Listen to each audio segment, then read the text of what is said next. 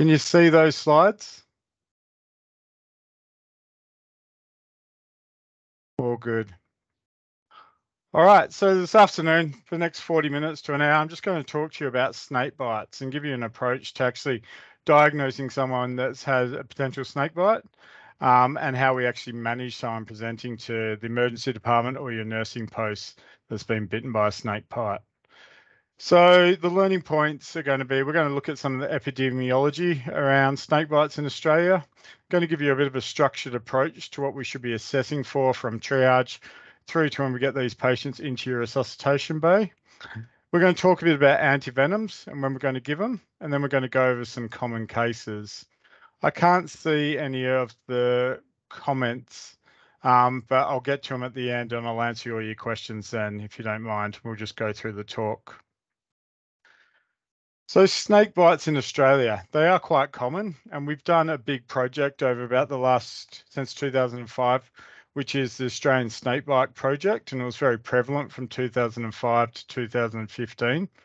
And it's still ongoing now. And we know from that big study that we see about 3,000 bites per year presenting to emergency departments or to nursing posts seeking treatment. But of those 3,000 bites, about 200 of them are actually envenomed and require antivenom. So there's a lot of dry bites or there's a lot of people that have potentially think they've been bitten by a snake, but it hasn't eventuated or hasn't eventuated into envenomation. We do know that there's about one to two deaths per year from snake bites in Australia. So these are the ones that we really need to have prompt recognition and aggressive early management to try and prevent some of these deaths from occurring. There's about a group of six snakes in Australia. So you have your common, your brown snakes, tiger snakes, your black snakes, uh, your death adders, and your sea snakes, and that. And we know that from studying and doing this big study over the years that each snake has this characteristic clinical syndrome. And this can actually help us out by working out what type of snake might have bitten the individual. So we can look at that as we go through this talk. We are heading into snakebite season at the moment, and with this is certainly data from this ASP project that we know that, as you can see here on this graph, the bites start to pick up when snakes come out of hibernation. They like the warm weather. And so we know through from about October, and we get our peak snake bites between December and January, and then it tapers off as we heard, head into autumn and into the winter months. And we can see there that it correlates with the amount of envenomation as well. So peak envenomation and peak number of bites is generally in December with in January and December and February being um, quite high as well. So it is the summer months and we are heading into this season now. So we need to be mindful and aware that these patients will start presenting and certainly in the Metro ED, I know at Charlie's we've had a couple in the last couple of weeks and I know through talking to the tox guys, they've had a few out in the country as well of recently. So we need to be aware and mindful that these patients will start presenting. So what causes people to actually get uh, bitten by a snake? And so this is data. It's a bit old data, but it's the best I can find from 1980 to 2007. The most common cause reason that people get bitten by a snake is they tread on it accidentally. So they tread on the snake, not realizing it, especially out in the bush, walking out at night, walking through long grass, and that. People often get bitten where they try to kill or capture the snake, or they misidentify it as, say, a lizard or something like that, and they pick it up that way. And that's when they get bitten. Herpetologists are people that actually collect and work with snakes, and these are a high risk, dangerous occupation because they're at risk of getting bitten just through the nature of their job. So when we look at snakes on lethality, and so this is based on the venom scale and the lethal dose, in Australia, we are home to the 10 most venomous snakes in the world. And certainly the most toxic one that has such a huge venom scale is the inland taipan. Uh, we don't see these in Western Australia, so we're quite lucky. These mainly inhabit southwestern Queensland and regional areas of central Australia. And these have such a high venom scale, um, lethal dose, that they'll quite often result in death. What we do see in WA quite a lot is eastern brown snake bites and tiger snake bites. And they're on a venom scale is about half of the inland taipan, but these result in the most number of deaths that we see by generally than how many in the population they are and how what area they actually inhibit.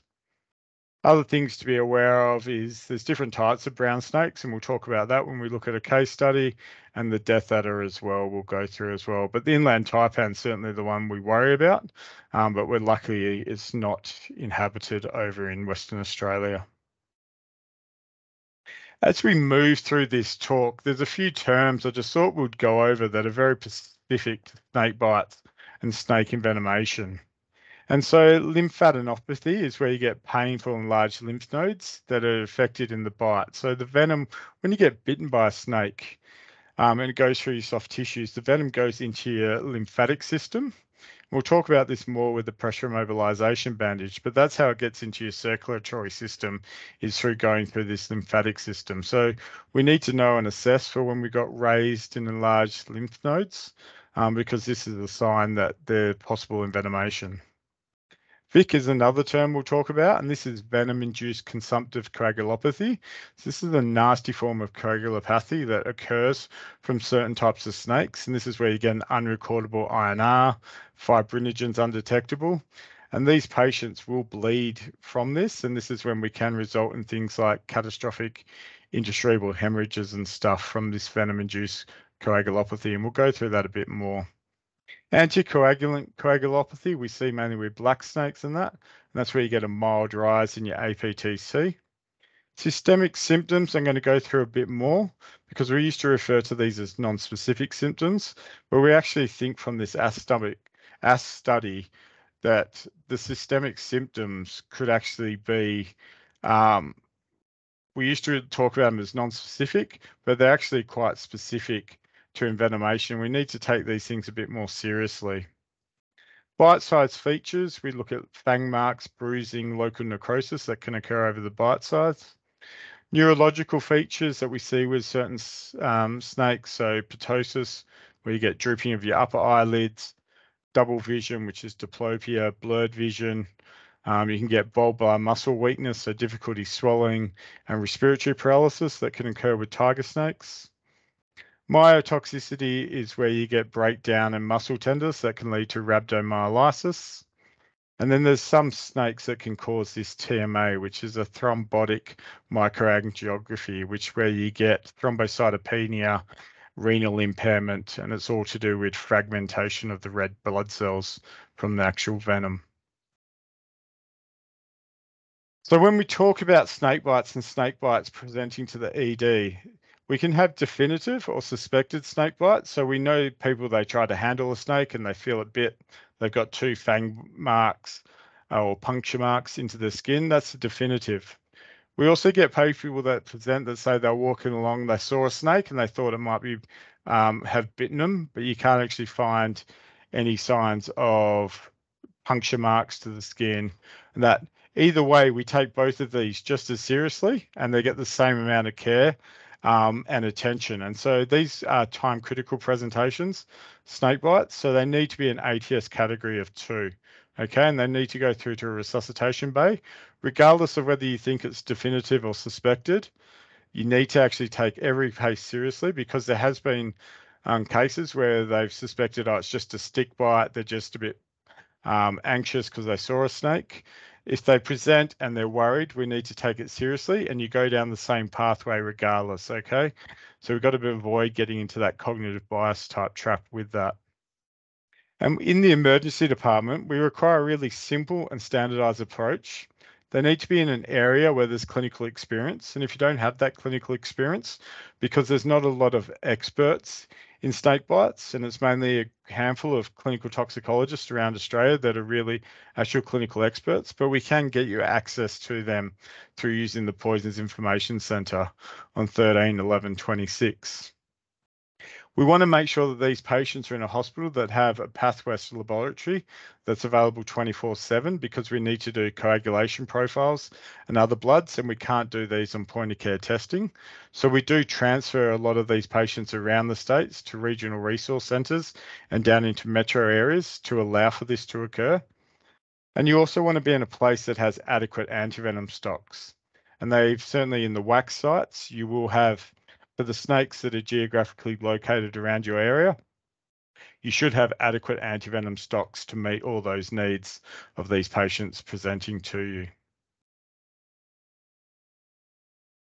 So the resuscitation phase. So when you get these patients into your resuscitation bay, and we're going to start off assessing their airway, breathing, circulation, there's a few snake bites, and it's around 5% or so that can present with quite systemic features that need early and aggressive resuscitation care. And that can present from cardiac arrest to sudden collapse and hypertension from the direct um, myocardial effects of the envenomation.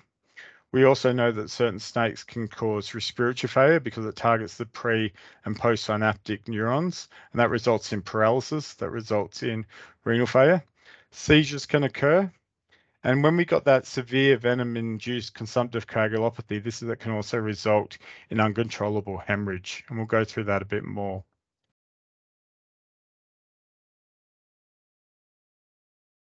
So your history that you're going to take from these patients, whether you're at triage or whether you've initially got them into your resus bay, there's things that you're going to want to know because when you discuss with the clinical toxicologist, these are the questions that they're going to ask you. So they want to know the geographical area of the bite. So where are you located and what's around you? Because then they know what snakes inhabit that area and that can help them with their decision making and to know what signs to look for. Appearance of snakes, we tend not to anchor too much on this because it can be um, false leading. But as we'll go through, so you have red belly black snakes, which we don't see a lot in Western Australia but they have a characteristic red marking on their belly. So that's one way of identifying them. Um, death adders, they are this short, fat snake with this diamond head, which is, I'll show you some pictures as we look at a case study of them. And that can actually help guide our treatment, but we shouldn't anchor on that too much. When you start talking about browns and tigers, they can sometimes look the same. And certainly once you get bitten or an encounter with a snake, there's generally some form of panic and dysregulation in a bit. So you may not actually be as clear with your description from the patient. So we shouldn't anchor on that too much. You want to know the anatomical site of bite. We know that the most common around legs, ankles, feet, because snakes get trodden on. If they're being handled, then they can be bitten anywhere on the body from the face to the arms um, to the torso and that. Number of strikes. So has a snake bitten more than once? Um, because that then increases the risk of envenomation. The use of pressure and bandage immobilization, and we'll go through that, but pressure mobilization bandage, if it hasn't been put on pre-hospitally, you need to get it on at triage and you need to have these bandages stocked at your triage bay in your cupboard there, ready to put on as soon as these patients present. You want to know about any early signs of symptoms from these that might be occurring. So have they had a collapse? Have they got nausea, vomiting, bleeding, weakness, those sort of things. If they've come in by ambulance or with mine site workers and that, what's the pre-hospital course been like? Have they had episodes of hypertension? Have they got an IV in, but you notice that there's bleeding from around the cannula site? That's a sign of VIC developing. Um, are they making urine? What color is their urine? Those sorts of things. Your physical examination is going to be full set of vital signs. You're going to assess their mental state as well. You want to look for evidence of a bite, but also remembering that lack of evidence does not exclude envenoming. Okay, so if you can't find a bite site, but they've come into contact with a snake, you need to take it seriously. Assessing for lymphadenopathy, you want to then also look for evidence of abnormal bleeding. So over the bite site, have they got a slow ooze? Are they bleeding around their gums? Have they got epistaxis? Have they got um, hematuria and stuff developing, which is a sign that they've got fragmented red blood cells from the envenomation? You're going to then do a neurological assessment, and this assesses for the neurotoxicity sides of things. So you want to look for descending symmetrical flaccid paralysis. So this is where we can be looking at the eyes. So are they having trouble keeping their eyes open? So that's a sign, or their eyelids open. Um, the small muscles of their face, their bulbar function, and assessing their respiratory function. So we can do things like continuous SATs monitoring peak expiratory flow, and that can help you monitor it over the course to see if they're improving, stabilizing, or getting worse. These systemic symptoms that we need to be aware of, we used to talk about this as being non-specific symptoms, but we actually think from this AS project that we did and looked at it that these are actually kind of systemic symptoms and we need to weigh all these up in the overall clinical picture. So if they're reporting things like headache, diaphoresis, nausea and vomiting, abdominal pain, and diarrhea, these are all pretty good signs that they could have envenomation, and we need to start taking them a bit more seriously than what we have done in the past. The good thing when we're looking at snake bites and snakes bites in Western Australia and stuff is we can break the examination of our systems down into three main groups. So you've got your neurotoxic effects, like I've talked about, so ptosis, drooping of the eyelids, so they're struggling to keep their eyelids open. Ophthalmoplegia is weakness of your actual eye muscles or your eyeball muscles. Diplopia, so double vision. Dysarthria, so difficult with communicating and articulating their words and swallowing. Assessing for limb weakness, remember they're going to get a descending type paralysis, so it'll start getting weak from the top and working its way down. And then the respiratory muscle weakness, so keeping an eye on their saturations, their respiratory effort, peak expiratory flow, stuff like that. Moving on, then we need to look at their coagulation status. So we look at this via bloods, but clinically and at the end of the bed, looking for your bleeding gums, prolonged bleeding from bites, IV sites, the epistaxis and hematuria. And then moving on to your muscle type damage. So they may have muscle tenderness. Um, certainly with your black snakes and that, they'll get quite severe and sore muscles. They'll get pain on movement, um, some weakness, and they can develop rhabdomyolysis lysis and myoglobinuria from developing as well. We know that the snake envenomation uh, sits in the lymphatic system, and that's how it's transmitted to the circulatory system. So I just sort of bring you back to a bit of patho. So assessing your lymphatic system. So generally, if they've been bitten on the limbs, then we're going to assess for your pelvic lymph nodes, have a feel in their groin. You also have lumbar lymph nodes, inguinal lymph nodes, um, so you want to actually be feeling and palpating for these uh, proximal to the bite side to see if they are actually tender and enlarged. That can be um, a sign of envenomation as well. Moving on to your clinical effects of your snake bite. So this is where we break it down into this group of six or seven types of snakes and what their actual clinical and laboratory findings that we're going to look for on the snakes. So brown snakes, which are very common, these eh, with sign when they are envenomed, the coagulopathic profile will be that they'll have that venom-induced consumptive coagulopathy. They won't have any signs of neurotoxicity with brown snakes. Myotoxicity is quite rare, but other clinical features that can occur is collapse and cardiac arrest early in these patients. So if you've got a patient presents that's been out walking in the bush, and query may have come in contact with the snake and they go into cardiac arrest. This is an indication where you're going to actually give them brown snake antivenom as part of your cardiac arrest. They can also develop that thrombotic microangiography, which leads to um, renal failure as well. Black snakes, which is also referred to as your mulga type snakes, they get that anticoagulant coagulopathy, so they get a rise in their APTT. Um, they do get some muscle breakdown with myotoxicity, so they often report local bite site pain, and they can sometimes go into renal failure for it, requiring dialysis. Tiger snakes, they're very similar to brown, that they result in the venom-induced consumptive coagulopathy. They will develop neurotoxicity. It's generally a slow onset over hours. They can develop myotoxicity as well, um, and they can get that thrombotic microangiography and lead to renal failure as well. Death adder doesn't result in any coagulopathy or myotoxicity. but they will they can get slow onset um, neurotoxicity that results in descending paralysis. Uh, sea snakes don't result in a coagulopathy, but they do get a rapid onset of neurotoxicity, and it can develop some myotoxicity as well and lead to renal failure. And then taipans, which we don't see a lot of in Western Australia, they when they're envenomed, you'll see that they have the VIC, they get rapid onset of neurotoxicity, and they get myotoxicity as well. So they're quite difficult to manage and treat.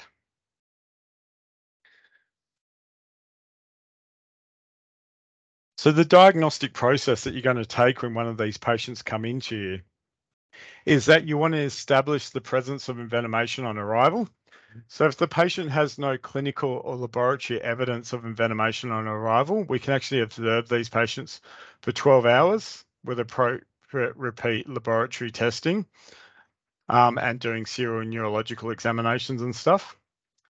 If the patient does present with signs of envenoming, then we need to determine which snake or which groups of snakes is most likely to be involved. And then from working out which group of snakes or which snakes likely to involve, then we need to administer the appropriate antivenom. And then you want to admit these patients for observation or transfer them out to somewhere where they can do ongoing management for these patients because they will need 12 to 24 hours admission to hospital. And some of them that develop that neurotoxicity will require mechanical ventilation. So our laboratory investigations that we're going to do and this is quite often, certainly in the WACHS sites, where you're going to be transferring these to the regional centres because you're not able to provide these. And you can't use point of care testing. So for your INRs and your D dimers, I know some of you out there have point of care testing.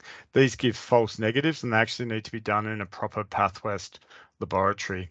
And the bloods that you want to do on these patients is you want to do a full blood picture, then your coag profile. So we're looking for APTT, INR, D dimer, then you're going to look for your muscle breakdown with your creatinine kinase, urea and electrolyte abnormalities, and then a lactate as well.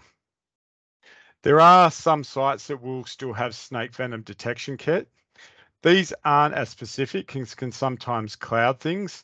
And generally, if you've got your laboratory data and your clinical picture and know your geography, the snake venom detection kit doesn't actually offer you a lot of value. And this is where you do a bite-sized swab um, over where they've been bitten, and then in your lab, they'll run it through this snake venom detection kit. But it's certainly not used as much as it used to, and it certainly can cloud the picture in that. So we tend to move away from it these days. You can also use a urine sample um, if you can't get the bite-sized swab. So your first aid and your initial treatment for these patients is always going to be to apply a pressure bandage immobilization, but we also want to keep these patients calm and still so that we can actually keep the venom actually in the lymphatic system and avoid getting it shifted through into the circulatory system. Okay, and the whole purpose and tenet of the pressure mobilization bandage is actually to retard the venom in the lymphatic system and not actually move it into the circulatory system. And that's where the compression comes into it. Pressure immobilization bandages can stay on for hours. And remember, we're putting these on like we would for a sprained ankle. Okay, so it's more for support and compression of the tissues, but it's not to impair the circulation in any way. So they still should have good distal pulses and should still have a distal capillary refill time less than three to the affected limb. If you haven't got that, then you've put it on too tight and you need to leave it off, loosen it off because you will cause compartment syndrome and stuff that can develop. Remembering we're using an elastic crepe bandage, there is no indication for a gauze bandage in these patients. Okay, gauze won't give enough tensile strength to actually support um, the lymphatic system. So you need to use those elastic bandages. So you should have them stocked and available in your triage area. If you don't, you need to get them. If they've been bitten somewhere where you can't actually apply a bandage to it, so they've been bitten on the abdomen or the chest or something, we need to try and apply local pressure and immobilize the patient. So that may just be direct digital type pressure with a hand or palm of a hand over the site until you can actually get them in, get some bloods off and get them assessed thoroughly and stuff. But you also want to immobilize the patient, okay? The thing with putting a pressure mobilization bandages is that you're going to start over the bite site and go around there and then go up the limb and then you're going to come back and go distally and go all the way up the limb there. So you start over the bite side and progressively move your way up and then you'll come back from the distal end. So if it's on the limb there, you'll start at the toes and work your way back up. You then need to immobilize the limb. So you want to, instead of just putting on the pressure mobilization bandage, you also want to splint that limb and keep it, so stop it from moving and then immobilize the patient as well to stop them moving. And that's with the hope that you can keep the venom in the actual lymphatic system and not get it into the circulatory system. When are we going to remove the pressure bandage? Pressure bandage? When they've been in a hospital that's equipped and able to manage these patients, so you have a doctor available, you have support available, you have antivenom, you've got IV access. We can take it off when they've got normal laboratory investigations and a normal physical exam, or if we've started treatment, so we've given them the antivenom, so we can give them the antivenom, then we can remove the pressure bandage and that. But you shouldn't um, take it off until all these things have been ticked. So you've got normal bloods, normal physical exam, spoken to the toxicologist and they're all happy, take it off. Or you actually know they're envenomed and you've started the antivenom and generally, the antivenom only goes in after half an hour. So I generally would recommend that give them the antivenom, then take it off. We do know, and there are case reports of deterioration in patients after the pressure bandage has been removed. That's one of the reasons why we know it works. So if your patient does start circling the drain after you've taken off the pressure bandage, you want to reapply the pressure mobilization bandage. Uh, you want to repeat your laboratory studies, and then you're generally going to be giving them an antivenom pretty quickly. So if you take it off and they deteriorate in any way, put it straight back on, repeat your bloods and give them an antivenom. So excluding someone that's been envenomed. So generally, if they come in and you got no, your first set of bloods show that there's no clinical or laboratory features to show that there's envenomation, you take your pressure bandage off. But then we also need to observe these patients for 12 hours and we're going to do bloods at six and 12 hours post them being bitten. Okay, so it's not the post getting the pressure bandage off. We're going to do these six and 12 hour bloods post the time that they're actually bitten. Okay, remember we don't want to discharge these patients at night in case we miss any of the neurotoxicity type features that can develop suddenly over a period of time. But generally, these patients, once they're with you, they're there for at least 12 hours and you're going to do these bloods at 6 and 12 hours post the bite to make sure that we haven't missed anything. When are you going to give these patients antivenom? Okay, so it's when there's abnormal physical or laboratory findings that are consistent with envenomation. So your absolute indications for giving someone antivenom is when they report a sudden collapse, seizure, or cardiac arrest consistent with being bitten by a snake. If they've got an abnormal INR level. So we know your normal INR level is 0.9 to 1.3. So anything above that would be an indication to treat with antivenom. If they've got any evidence of paralysis with ptosis or ophthalmoplegia being the earliest signs, then we're going to treat then early as well. Some of your relative indications, so your systemic symptoms, so if they've been bitten by a snake they've got vomiting, headaches, abdominal pain, diarrhea, an elevated white cell count, abnormal activated partial APTT time, or they've got signs of renal impairment with a raised creatinine kinase level and myoglobinuria developing.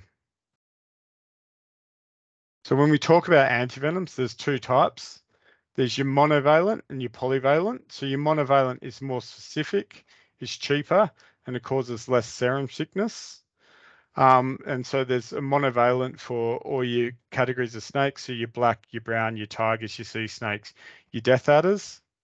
Well, then if we can't work out what's bitten them, there is a polyvalent antivenom and it contains one each of those monovalent antivenoms. Okay, but it's a higher risk of serum sickness and anaphylaxis with. So generally with a good with good laboratory investigations, geographical area and clinical examination, you should be able to go for the monovalent over the polyvalent. And this is where your clinical toxicologist will come in. So as I just said, you, knowing you're choosing a monovalent can help. Um, and sometimes if they've actually been people know what snake's actually bitten them. So a snake handler or herpetologist has been bitten and they definitely know it's a dugite or a brown snake, then they will actually go for the monovalent over that. In some regions, if we, so we know like in the southwest of WA, there's a lot of brown and tiger snakes, and that's the predominantly group of snakes that are down there. So if someone presents with a snake bite and we're unable to work out which snake it may be uh, occurred to them, then we can just go ahead and give them a vial of the brown and the tiger at the same time. And then that's instead of using the full polyvalent and giving them the other four doses of antivenom. And that should generally be suffice and they should get better from it. So just some antivenom pearls. So this is a serum, and as you can see there, the way that they make antivenom is they get a venom from a snake. You'll see the videos, they milk it into the cup through the glad wrap. They then inject the venom into a horse's bloodstream. And so this is done in the CSL laboratory. And then they let the venom go through the horse's um, serum into the bloods. And then they take off some of the horse's red blood cells that's got the venom in it. And that then gets spun through a centrifuge machine that pulls off the rich plasma. And then they do this separation type picture where they separate the antibodies from it and then they get those antibodies, bodies, which makes the antivenom, and they um, process them, sterilize them, mix and attenuate them into a vial. And this is where the antivenoms actually come from. So that's how they actually make the antivenoms. And because it is a serum, anaphylaxis is common in these patients. And so it does occur in about 5% of these patients. So if the patient does get anaphylaxis, so hypertension, wheezing, urticaria rash, you're going to stop the infusion, treat the anaphylaxis with adrenaline. And once you got on top of the anaphylactic symptoms, you want to get back on and get the actual antivenom into them because they need that as well. Antivenoms are safe in peds and pregnancy, and it's the exact same dose as an adult. Okay, so nice and simple, safe for all, and that because it is a serum, um, that we are inducing into the body. There is a condition called serum sickness that can occur with giving antivenoms. And this is where patients can develop 24, 48 hours after getting an antivenom, a fever, rash, um, muscle aches and pains, feel a bit fluey and lethargic for it. And the treatment for that is generally we'll put them on a course of prednisolone, 50 milligrams for five days to try and um, overcome some of those things. One of the biggest pearls and pitfalls we see with the administration of antivenom is that you actually need to give it time to work. And certainly when we're dealing with the coagulation side of things, um, it takes about 10 to 20 hours for coagulation to start to improve. So you can do repeat bloods on it, but it's not a, and the bloods may get worse, but this isn't an indication to keep giving more antivenom. We know from the ASP study that these patients um, generally only require one vial of antivenom. Going back 20 years, we used to give brown snake envenomation up to 10 vials of antivenom. Now we just give one, and we think that's sufficient. But the ones that are developing these coagulopathies, you need to give them time to actually let it resolve. So with your patients that have quite severe venom-induced consumptive coagulopathy, the VIC, it's going to take 24 to 36 hours. And the resolution is going to be about the body interacting with the antivenom and start synthesizing new clotting factors and that. So just because the bloods may start to look worse doesn't mean you need to keep going ahead and giving more antivenom. You need to actually give it time for it to work. Another thing to, that we shouldn't forget with these patients is that they're high risk for tetanus as well. So anyone that's been bitten by a snake, make sure that their tetanus is up to date. It's a good thing that there's some toxicologists because we don't see a lot of snake bites.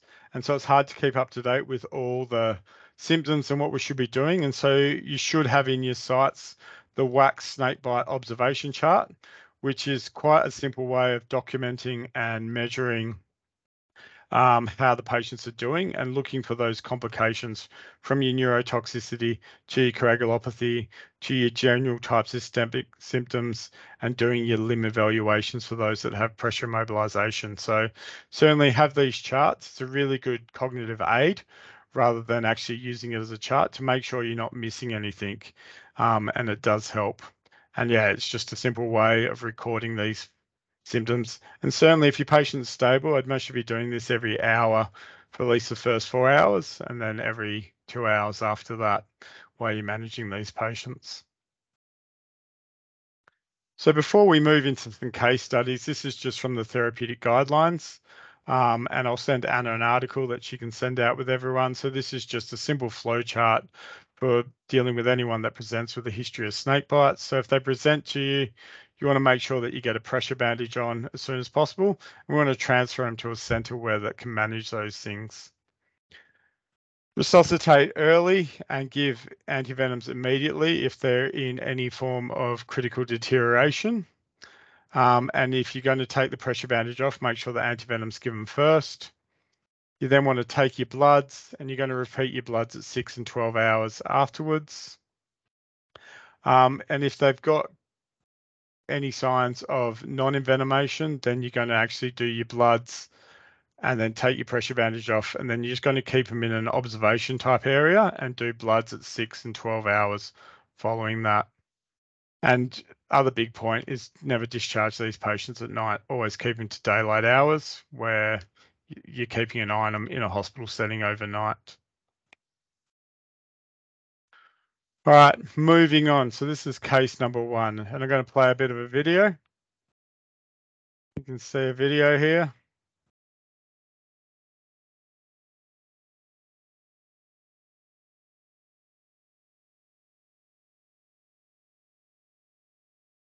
So that's a 23 year old Instagram influencer that we all see around the place. She sees the snakes and just gets a bit close to it and the snake decides to bite her on the ankle. As you can see down there, those little scratch marks is a bite from a juvenile type snake. She presents to the emergency department where she's feeling dizzy, nausea, and vomiting. She develops epistaxis and hematuria, and her bloods come back with an INR of six. She's got undetectable fibrinogen. She's got a D dimer of 320 and this is consistent with brown snake envenomation. And you can see from that video, it was a small brown snake that bit her. So there's eight types of brown snakes, and the common that we see throughout Western Australia is the dugite or the eastern and western brown snake. A lot of the time, these patients will present asymptomatic after severe envenomation, um, after being bitten, but there are cases of severe envenomation that results in this venom-induced consumptive coagulopathy. And certainly in Western Australia, we've had a few of these patients die from intracerebral hemorrhages from being bitten by a brown snake that's resulted in that VIC developing. So distribution of brown snakes, they're all around Australia. Um, they present generally on mainland, but they can be found around water and um, estuaries and rivers as well, but they're generally inhabitants of um, land. And the brown snake envenomation, so the things that we'll see is they the ones that have got quite severe envenomation, they will get the VIC. So you notice bleeding gums. So you can see there in that picture around the teeth, notice that they've got bleeding around their teeth. When you put a cannula in, they'll bleed quite heavily at the site and it can be quite difficult to manage. And as I said, a few have succumbed to quite severe intracerebral hemorrhages. Renal failure and decreased renal output are infrequent. Very rare do they develop any form of neurotoxicity of diplopia or ptosis. The ones that do die or go into cardiac arrest from brown snake envenomation is where they get the release straight into the circulatory system. And this has a direct cardiac toxicity effect. And so this is where they can present with syncope, collapse, and result in cardiac arrest and arrhythmias. Just looking a little bit more at the venom-induced consumptive coagulopathy that you'll see with brown snake envenomation. So you can get a complete VIC, and so this is where they have an elevated INR.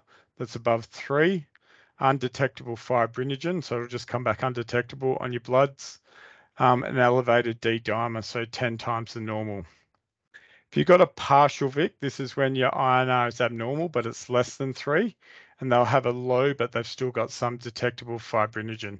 So remember, fibrinogen is part of that clotting cascade that we need to actually clot.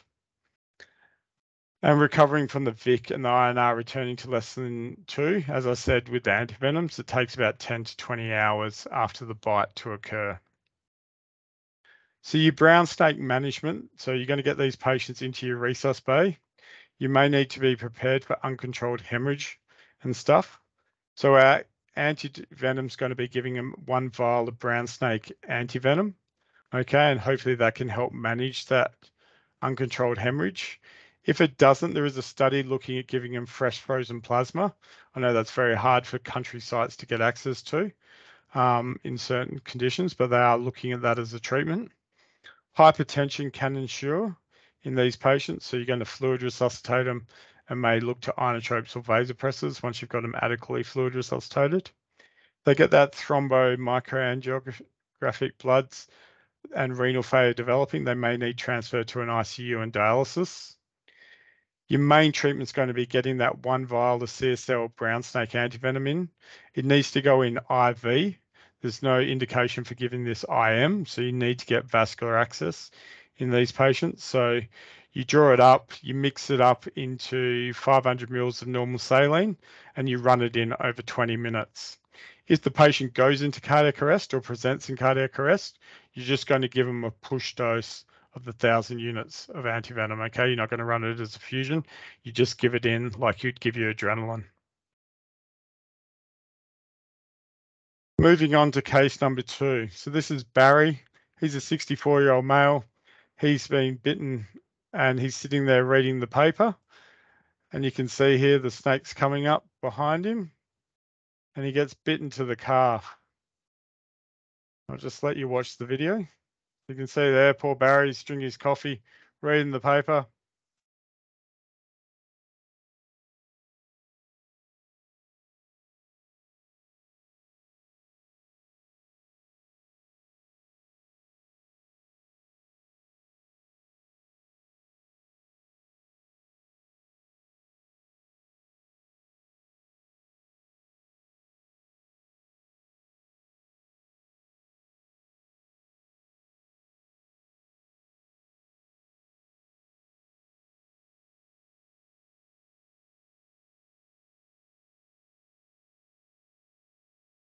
The poor Barry just enjoying the paper and a coffee, and the snake gets him out of nowhere. So he calls an ambulance. He gets brought into you. He's quite drowsy, weakness, reports generalized weakness. He's bleeding from his IV site and from his gums. So Barry's been bitten by a tiger snake, and so we see these around southern Australia, moving up into the Queensland coast. Um, they generally coexist in brown snake areas and they do have similar clinical features to brown, but the clinical features that the brown don't have is that these result in paralysis. They're very fast moving and they're an easily alarmed snake. And as you can see there, so certainly we see them in the southwest of WA, so they're very prominent, pertinent around Esperance, Albany, Denmark, Bunbury, Busselton type areas, and even into the Perth metro area. Um, we see them around uh, lakes around Perth as well. And then you see them more over in Victoria, heading up through New South Wales into the Queensland coast and stuff. Um, Garden and Carnac Islands off West Australia has a huge inhabitants of them, but we don't actually see them on Rottnest Island. So tiger snake envenomation is characterized by this pre and post synaptic neurotoxins that can result in this flaccid paralysis. So your early signs that these patients may be developing paralysis and going into respiratory failure. So looking for the diplopia, ptosis and respiratory failure. They will result, they do have procoagulant features as well. So VIC can develop and they can also develop myotoxins, so rhabdomyolysis and significant pain over the bite site. So your potential life threats with VIC um, and uncontrolled hemorrhage, paralysis and respiratory failure, and hypertension. So these with tiger snakes, we need to be prepared that respiratory failure may occur and we need may need to take over and intubate these patients earlier and put them on mechanical ventilation. Your treatment for tiger snake antivenom, it's one vial of CSL tiger snake antivenom, which is 3,000 units. Same consistency and administration for all of antivenom. So it's 500 mils in normal saline over 20 minutes. In cardiac arrest, you're going to give it as a push dose. If they've got severe and uncontrolled VIC developing, then you may want to discuss with the clinical toxicologist about getting them some FFP on top of them as well. So that's tiger snake. We're going to move on now to case number three. So this is 13 year old Susan. She's camping out near Mount Magnet. At night, she gets up to go for a wee and she accidentally steps on a snake and it bites her on the ankle. You can see the snake here.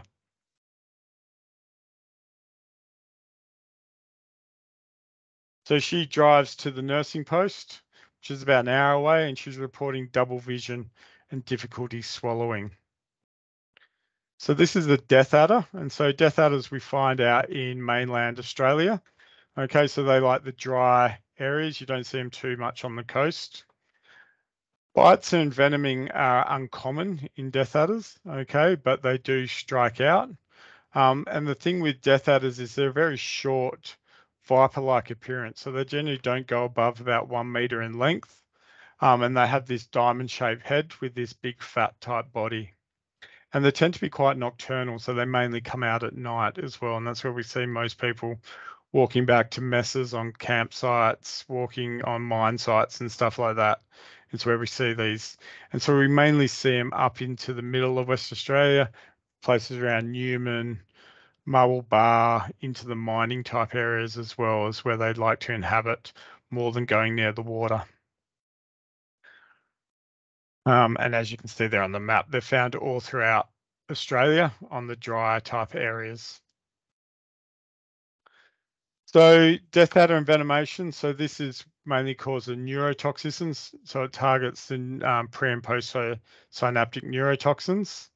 They often report pain and stinging at the bite sites, but for some reason puncture marks may not be apparent in death adder. So you may not actually see a bite site mark, but you may actually feel pain and stuff over it. This picture here is ptosis. So we can see here we're asking this gentleman to open up his eyes as much as possible. And he's trying, but he's got drooping of the eyelid. So this is what ptosis looks like. Your signs that you've got systemic envenomation is that they get this descending flaccid paralysis that develops within six hours. Your early signs is your diplopia and your difficult swallowing. And if they develop severe envenomation, this is when paralysis, respiratory failure, and hypoxic cardiac arrest can develop and ensure. So your management, you want to prepare for life threats. So you may need to put these patients on intubation and mechanical ventilation to time through it. There is a CSL death adder antivenom available. So it's one vial of 6,000 units given exactly the same way. So over 20 minutes in 500 mils of normal saline. Sometimes if they've got severe envenomation, it's not going to be enough and you will have to put them into an induced coma and manage them and transfer them down to an intensive care unit um, where they will get better over 24 to 48 hours. Ooh. All right, last case. So this is a 28 year old Brody that's paddleboarding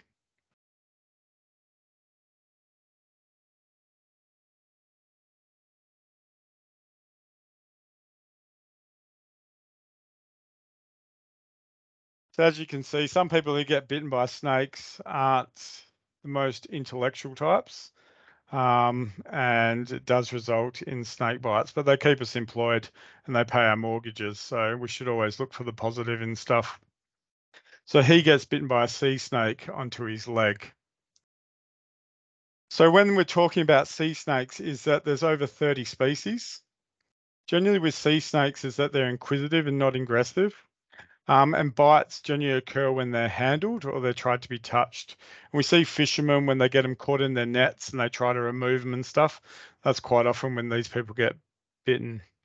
We need to be wary around the coastal areas because things like tiger snakes and brown snakes and taipans will hang around coastal areas as well.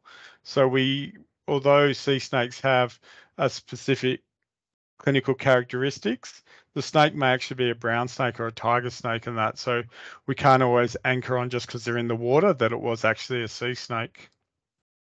So sea snakes are found all throughout Australia in coastal regions, um, out in the ocean and stuff. Don't see them too much in rivers and estuaries. They're more likely to be terrestrial snakes like your tiger or brown.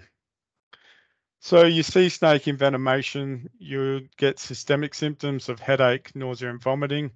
And then your type of systemic neurotoxicity that will develop is similar to the death adder, where they'll get descending flaccid paralysis with an onset within six hours. And you're looking for your signs and symptoms of ptosis, blurred vision, difficulty swallowing. Myotoxicity can occur in some sea snakes that leads to renal failure and where they'll need dialysis, but that's rare. So sea snake management, you want to prepare for rapid onset paralysis and hypertension. So you may need to fluid resuscitate these patients and potentially look to intubation and airway support.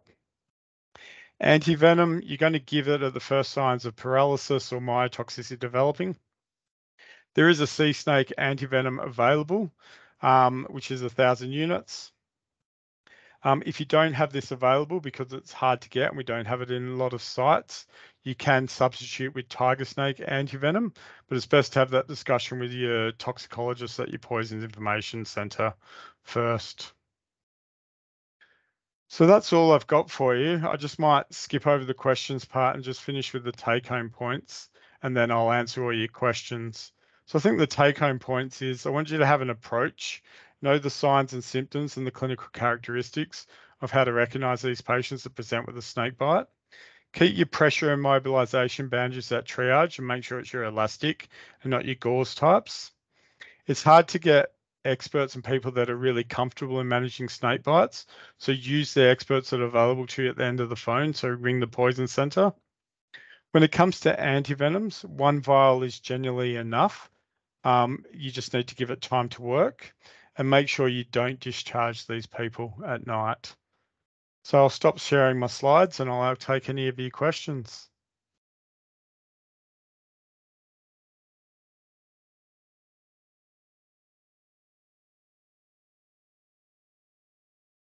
Uh, Larissa? Thanks, Kane. That was fantastic. I don't think I'll ever be able to sit on a balcony and enjoy reading peacefully ever again. Thanks, Barry.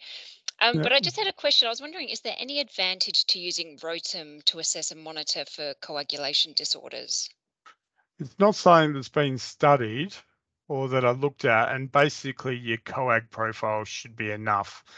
And there's talk whether the actual FFP and that makes a huge amount of difference in that, and it's generally time and antibodies from that and the antivenoms working. Yeah. I can have a chat with the tox guys and get back, but yeah, it's it's a bit conflicting at the moment, to be honest. Yeah. Yeah. And you, ask half of them, they say, oh, they'd give FFP and half wouldn't. So Yeah, interesting. Yeah. All right. Cool. Thank you. No, it was fantastic. Thanks. It was a great um great session, Kane. Thank you. No worries. Uh, Claire? Hello. Um, we are at a remote nursing post in Shark Bay. Yep. What would our kind of initial management of a snake bite be? We have quite a lot of sea snakes here as well. Yep. Um, and obviously just point of care testing and like very limited resources. Yep. Um, I guess would it just be assessing what kind of snake could be and then administering an antivenom with ETS yep. support, I guess? Yep. Yep. And if they're critically unwell with signs, then would go by the geography and we'll go by the signs and symptoms. The point of care blood testings aren't reliable, so we can't use it. If they're stable, it'll just be immobilizing the patient, pressure immobilization bandage, and we'd be flying them to Geraldton or Hedland, Karratha, where they can get laboratory bloods done and go from there. But if there was deterioration, then they may look to say, uh, go brown or tiger, give both, or give the polyvalent. Mm-hmm. And we have had RFDS. We had one in Coral Bay where yes. we got RFDS to actually fly in the antivenom and they gave it on the plane. Well, they gave it in ED and flew them out. So yeah, it's tricky. Hmm. And if they were in our centre for longer than six hours, would we take bloods and spin them so that they can be sent with the patient, or we just wouldn't worry? You could. That yeah, they'll do a fresh set as well when you get to Geraldton, but there's no harm in doing that. Mhm. Um, and RFDS generally prioritise these as P1s to get them out. So they do go above and beyond within the realms to try and get them out of there as soon as possible. Sure. But yeah, it's a very tricky position when you're in places like that. Oh, that's amazing.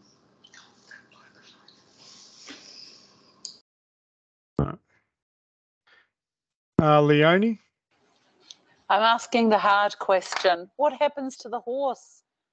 I think they're okay to be honest. If you read the CSL handbook on antivenoms and stuff, it's all above board and life saving. So I think they have strict ethics around it and stuff, and the horses do. I don't think they die after it occurs. I know it's it's an interesting one. I just did Yeah. wonder that, apart from being a horse lover. No, I ju- it did just make me wonder. I thought, gosh, you know, is there something particular about the horse's blood type or any particular Hmm. reason why they've chosen that? Because it's a big beast, I don't know. But it was just something Yeah. that interested me. yeah, Thanks. good question. Thank you.